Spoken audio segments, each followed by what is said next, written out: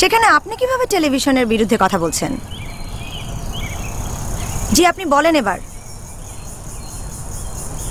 বলেন, আঙ্কেল।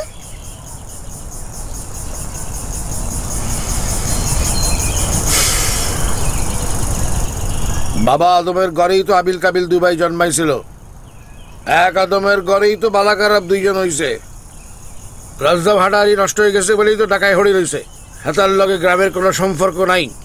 কিন্তু আপনি কি আপনি কি মনে করেন না যে আপনি গ্রামের লোকজনদের গণতান্ত্রিক অধিকার ক্ষুণ্ণ করছেন?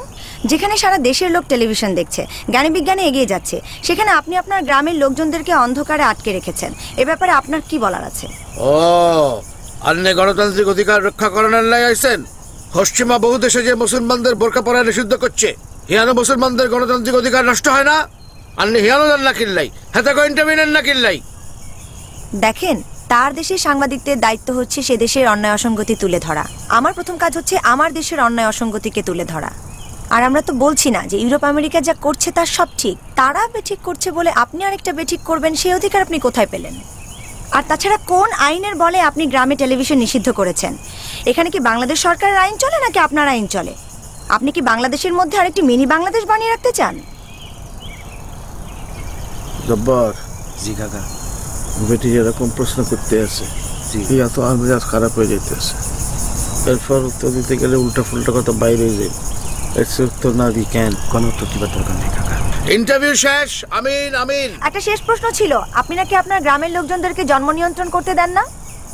জন্ম মৃত্যু আল্লাহর হাতে এটা মানুষের নিয়ন্ত্রণ করব কিল্লাই এই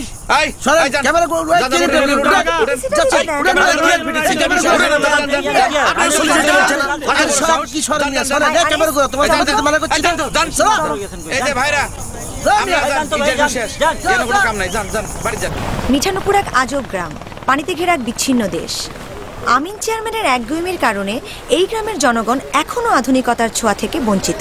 এই যে আমার পেছনে দাঁড়িয়ে থাকা সারি সারি মানুষের মনে একটাই প্রশ্ন কবে মিলবে মুক্তি?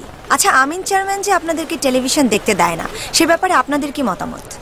আর এই ব্যাপারে আমরা ভীষণ খুশি। আমরা চাই ইহুদিগো এই জিনিস সারা বাংলাদেশের তুন এই টেলিভিশন আচ্ছা আচ্ছা। ভাই আমাদের এখন ইন্টারভিউ শেষ আমরা এখন চলে যাচ্ছি হ্যাঁ? আনিস চলো। আফা আফা আফা জি? ডোন্ট মাইন্ড আপনি কি বেটা না বেডি? টেডিয়ান ইঞ্চিন কিল্লাই আপনার কথা শেষ হয়েছে? আফা আপনি মাইন্ড করছেন নি আফা। আসসালামু আলাইকুম আব্বা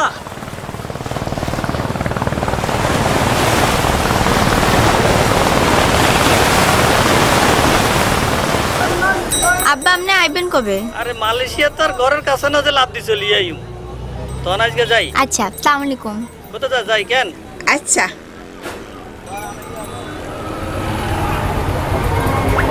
আম্মা আপনি বইয়েন। আই আগা পাসপোর্ট সাইজ ছবি তুলি বাই। আগা ছবি তুলবো পাসপোর্ট সাইজ আচ্ছা ঠিক আছে চলেন।